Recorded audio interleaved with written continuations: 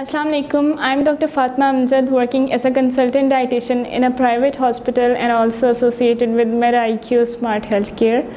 आज हम बात करेंगे मेंटल हेल्थ इश्यूज़ के बारे में और किस तरह से वो हमारी डाइट के साथ लिंक्ड हैं ये बहुत ही एक ट्रेंडिंग टॉपिक है आजकल क्योंकि one out of every five adult जो हैं वो एक्सपीरियंस कर रहे हैं मेंटल हेल्थ इश्यूज़ और मेंटल हेल्थ और हमारी फ़िज़िकल हेल्थ ये दोनों एक दूसरे के साथ लिंक्ड हैं। किस तरह से कि अगर हमारी, हमें कोई मेंटल प्रॉब्लम है तो वो अल्टीमेटली लीड करता है क्रॉनिक डिज़ीज़ की तरफ़ जाता है। For example high blood pressure या डायबिटीज़ की तरफ़ जाता है। और जब ये क्रॉनिक डिज़ीज़ डिवेलप हो जाती हैं तो वो in return mental health issues को के सिम्टम्स को वर्सन करती हैं। तो ये दोनों एक दूसरे के साथ लिंक्ड हैं। अब इसकी ट्रीटमेंट के लिए मोस्टली um, मेडिकेशंस और थेरेपीज़ यूज़ की जाती हैं बट डाइट की तरफ़ डाइट को काइंड ऑफ़ इग्नोर किया जाता है। ईटिंग हैबिट्स क्या हैं पेशेंट्स um, के उनको इग्नोर किया जाता है। सिर्फ़ थेरेपीज़ या मेडिकेशंस दी जाती हैं। तो डाइट का एक बहुत इंपॉर्टेंट रोल है। डाइट और मेंटल uh, हेल्थ का एक बिग रिलेशन है।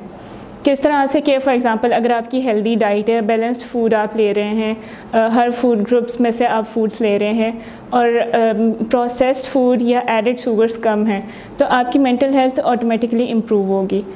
स्टडीज़ ये बताती हैं कि जैसे वेस्टर्न डाइट्स जो हैं, उनमें हाई कंटेंट होता है एडिड शुगर्स का, और प्रोसेस्ड फूड्स भी ज़्यादा होते हैं। तो उनमें मेंटल हेल्थ इश्यूज़ जो हैं, वो उसी तरह से ज़्यादा होते हैं। अब आते हैं उन फूड्स की तरफ़ या उन न्यूट्रिएंट्स की तरफ़ जो ज़्यादा हमें मेंटल हेल्थ इश्यूज़ से प्रिवेंट करते हैं, जो हमारे मेंटल हेल्थ के लिए इंपॉर्टेंट होते हैं। उनमें सबसे इंपॉर्टेंट जो है वो ओमेगा थ्री फैटी एसिड है मैग्नीशियम जिंक और प्रोबायोटिक्स अब ये वाले जो न्यूट्रिएंट्स हैं, ये हमारी डाइट में अगर ज़्यादा होंगे तो हमारी डिप्रेशन एंगजाइटी जो है उसका लेवल कम होगा, हमारी मेंटल हेल्थ इम्प्रूव होगी।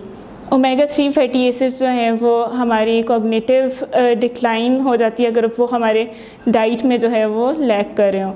इसी तरह अगर मैग्नीशियम का देखा जाए तो स्टडीज़ ये बताती हैं कि जिन लोगों ने मैग्नीशियम से ट्रेड सप्लीमेंट्स लिए थे, उनकी मेंटल हेल्थ इम्प्रूव हुई थी, उनकी मेंटल कैपेसिटी इम्प्रूव हुई थी। इस तरह जिंक भी एक इंपॉर्टेंट रोल प्ले करता है और probiotics every one knows is are very beneficial for our health और प्रोबायोटिक्स हम लेंगे तो एंगजाइटी और डिप्रेशन रिड्यूस होगा। Then coming to physical activity exercise exercise का भी एक इंपॉर्टेंट रोल है मेंटल हेल्थ में। एक्सरसाइज uh, करने से एंडोरफिन रिलीज़ होते हैं जो कि हार्मोन्स हैं। They keep us like energetic रखते हैं और they make us feel good you can say happy hormones तो वो रिलीज़ होते हैं एक्सरसाइज से और वो ऐसे हार्मोन्स रिलीज़ होंगे तो ऑटोमेटिकली हमारी मेंटल हेल्थ इंप्रूव होगी। इसी तरह ब्रेन सेल्स जो हैं, उनकी फॉर्मेशन न्यू ब्रेन सेल्स की फॉर्मेशन होती है एक्सरसाइज से।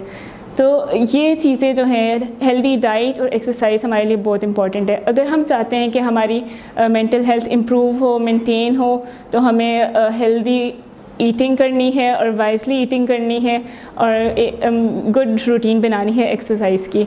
अगर आपको कोई इशू है मेंटल हेल्थ से रिलेटेड और आपके, या कोई ईटिंग डिसऑर्डर है और आप न्यूट्रिशनल कंसल्टेशन बुक करना चाहते हैं तो आप मेट आई के थ्रू बुक कर सकते हैं। Thank you